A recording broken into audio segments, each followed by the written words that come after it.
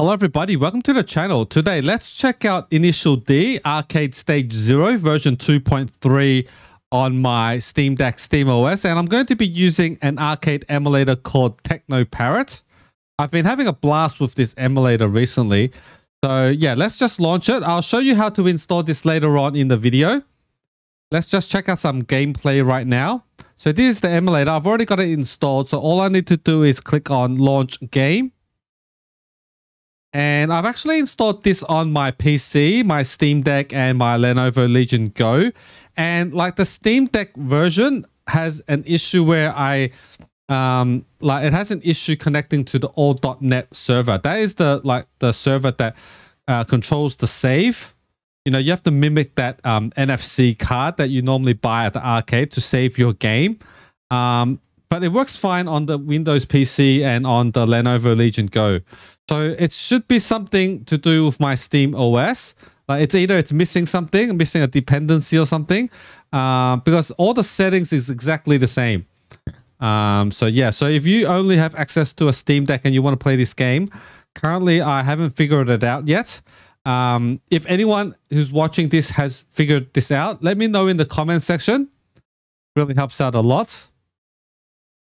And I'll show you some gameplay of my um, Lenovo Legion Go working with like saves and everything later on as well. So here you see initializing. This is the all.net server. And then um, here it says error. Cannot connect to the all.net server. And here it says Aime cannot be used for online battle mode at this time. So this game has um, sound and music. It's just um, because uh, I muted it because uh, you know YouTube. Uh, all these music has um, most of them have um, copyright. So yeah, I muted it for uh, the YouTube purpose, but it does have music and sound effects. Uh, it just doesn't save at the moment. Okay, let's select our car. I'm gonna go with the Celica, one of my dream cars when I was a kid. Okay, let's go for the red one.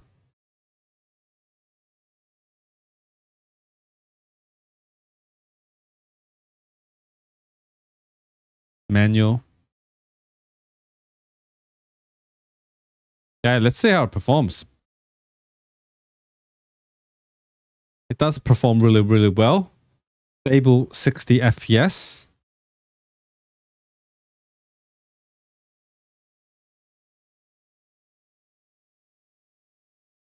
Oh, the Celica looks nice. So this first person view and third person view. I prefer first person view for this game. That's how I played it in the arcades.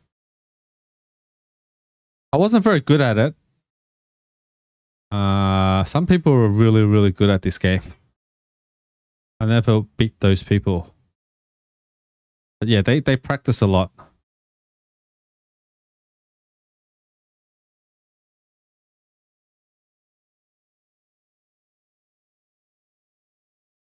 In case you want to see the third person view.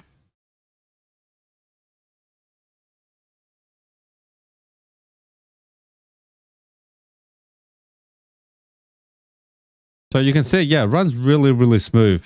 So I'm currently playing this on my Lenovo Legion Go mostly because I can't save on the Steam Deck. So yeah, hopefully that gets fixed. I know someone's like done it before uh, the old method. This is the newer method. Like you just use TeknoParrot. Um, there's an older method that uses um, like MIME server. Like eh, that's harder to install. Uh, I haven't figured that out yet. But uh, yeah, here's the newer method. It works on the Windows and um, Lenovo Legion Go. So not sure why it's not working on the Steam Deck. It's mainly because I think it's missing a dependency, a Windows dependency that's required to get it running. But I've already got like four like .NET Framework 4.6.2 installed. Uh, maybe I'll try installing other .NET's versions. Um, uh, or maybe some Visual C. I don't think it's anything to do with the Visual C. I think it's a .NET thing.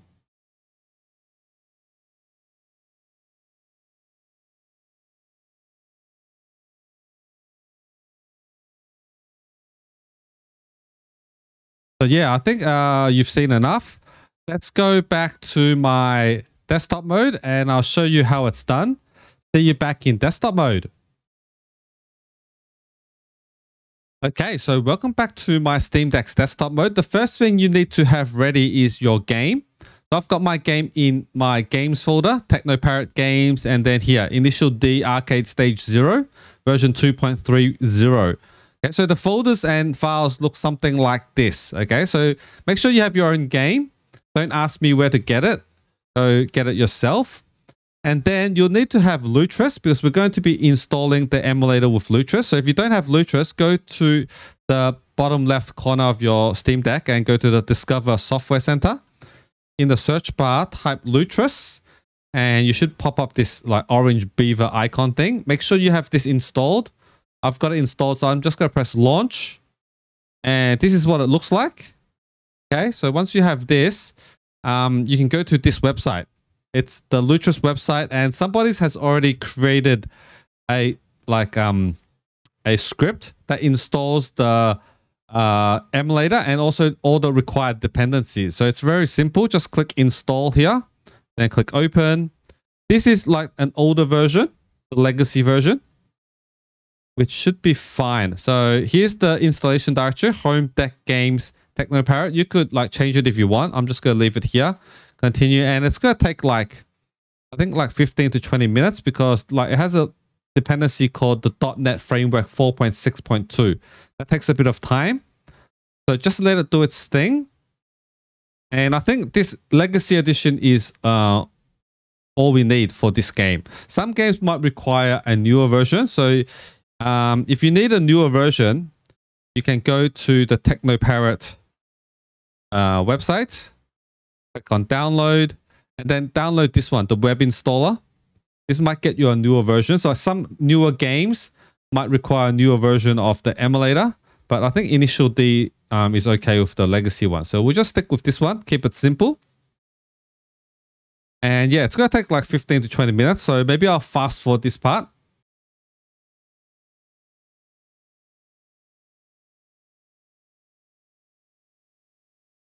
Okay, so what seemed like forever, for me anyway, I fast forwarded for you guys. So installation is complete now. You don't need to launch it. Just click close. Okay, and then you've got your emulator right here, TeknoParrot. Okay, so yeah, if you take a look at it, um, we're using the runner options, WineGE 826 x86-64. This is the one I'm using. I'm pretty sure other ones work too, but if it doesn't, um, and you don't have this version, you can always go to the left-hand side of Lutris and you've got this wine tab here and then click here, manage versions, and you can always download and install it, okay? So here's, I've got mine installed. If you don't have it installed, click on the install button. Okay. Now let's run the emulator. So right click it, click play. Okay, looks like you don't have any game set up. Do you want to add one now? Yes, I do. And this is the legacy version. Okay, so we do have initial D, but we don't have the... We don't have... Okay, so we do actually need the newer version of the emulator. This is a little bit too old. So what you need to do is... Let's just quit out of this one. Okay, um, go here and download like I'll leave a link, teknoparrot.com. Click on the download, click on this um, blue one, download TP Bootstrapper. I already have it. Yeah, I've downloaded it twice actually. So, oops, I opened my, okay. Go to, oops, I opened Discord. Uh, go to, bugging me now. Okay, go to downloads. And then I've got my TP Bootstrapper.zip here. So extract it and you get this folder, TP Bootstrapper. And then here it's got an exe. So right click it, add to Steam.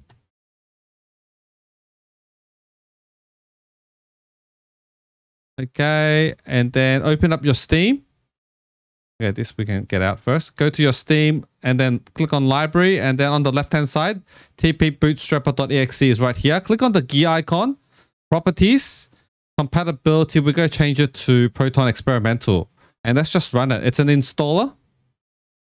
Okay, so we're going to install a newer version of the emulator which support more games. Okay, so unfortunately, I've been doing this too much. Um, my hourly rate limit for GitHub is like it's limited, so I can't download it right now. So yeah, I'll probably have to get back to this one. But all you need to do is you need to create a folder. So let's say I go to my games folder and you see how I installed TeknoParrot here? This is like the drive C that uh, this is where I installed it with um, uh, Lutris. So maybe we can just go into drive C and create a new folder. And I'm going to call it um, TeknoParrot TeknoParrot uh, latest. So this is the latest version. It's just a blank folder. And what you need to do is just in this installer, just uh, because I've got this, if you don't have this, click on the browse and locate that folder and install it there. So yeah, I'll see you back when I've installed it because uh, right now I can't. So I'll see you back soon. Okay, so welcome back. I installed it. So here's the like folder that I created, TeknoParrot latest, and you can see now it's populated because I've installed the latest version of the emulator. Now what we do is we go back to Lutris, and here's the emulator that we installed. Right click it, configure, and it's pointing here in game options, it's pointing to the legacy version, which we want to change that. So let's point it back to the latest version. So, okay, TeknoParrot Drive C. This is the folder that we created and installed the latest version. And then select TeknoParrot UI.exe. Save. And then let's run the emulator. Okay, so we don't have any games set up. Do you want to add one now? Yes. Okay. So now let's find our game. It should be here now. Yes, Initial D, Arcade Stage 0, version 2. Add game.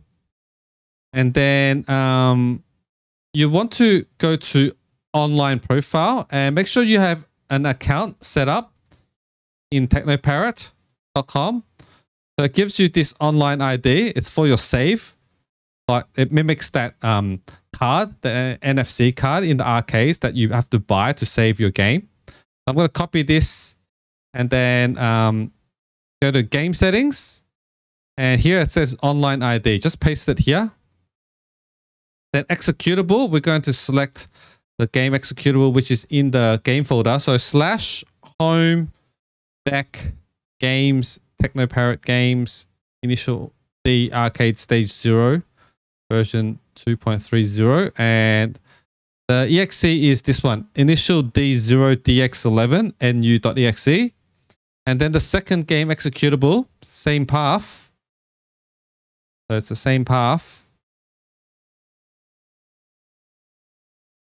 And here's the exe, amdaemon.exe. Oops. Okay, got that done.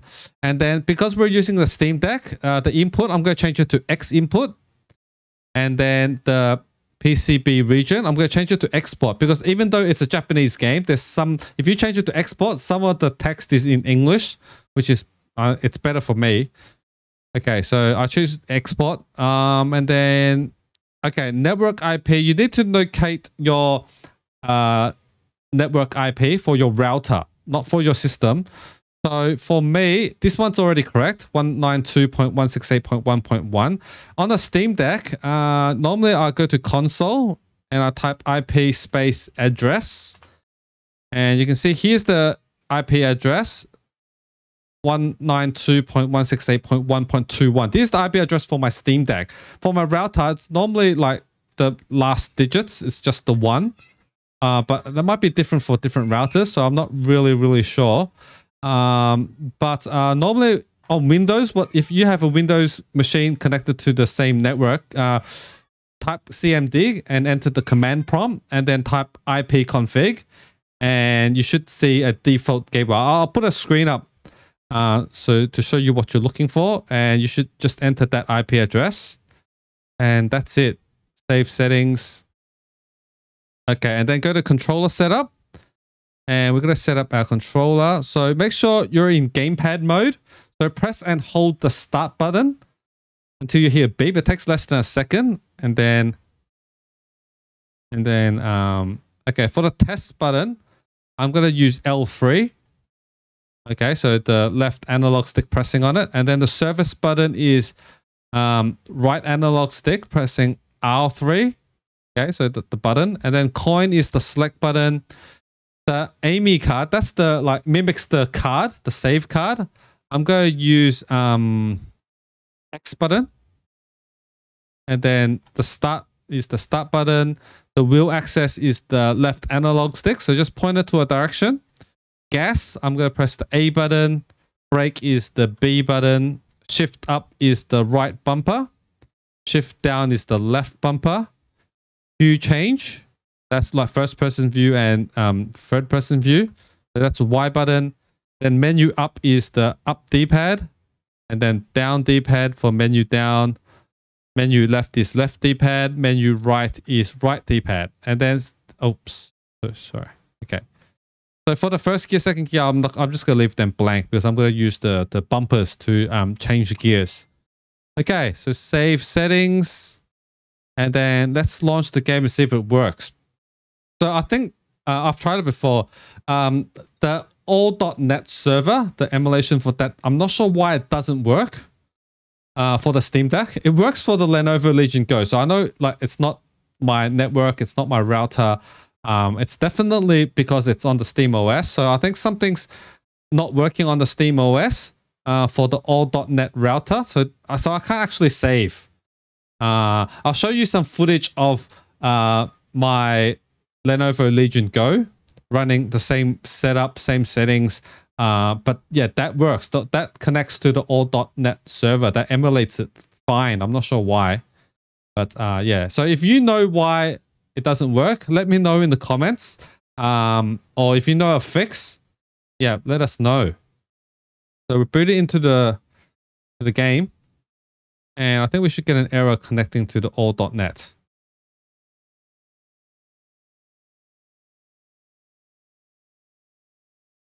Yeah, see this? Cannot connect with the all.net router. So that means that we can't use the Aime card. You can see the red text. Aime cannot be used for online battle at this moment. So there, yeah, that's that's a bummer.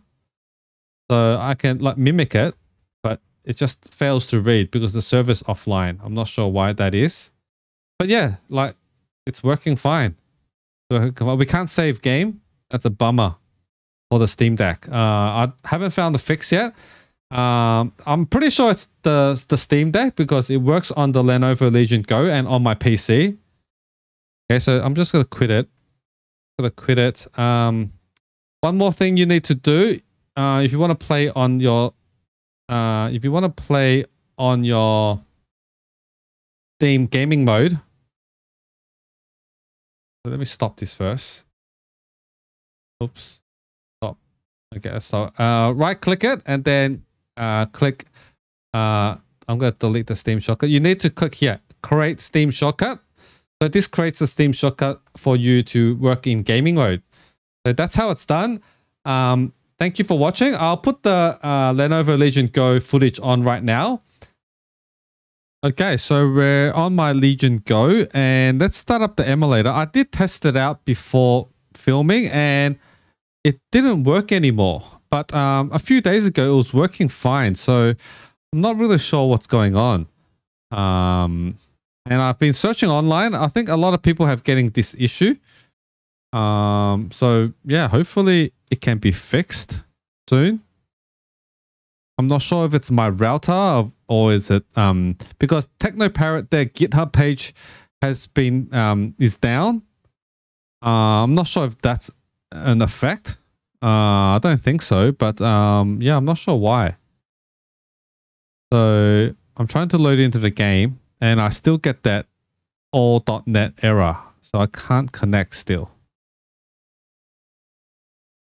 Yeah, I'm still getting this 8008 cannot connection with the all.net router. So yeah, uh, yeah, I'll leave it here. Hopefully someone can um, give me a tip and yeah, if you like this video, make sure you hit the thumbs up and I'll see you guys in the next one. Later.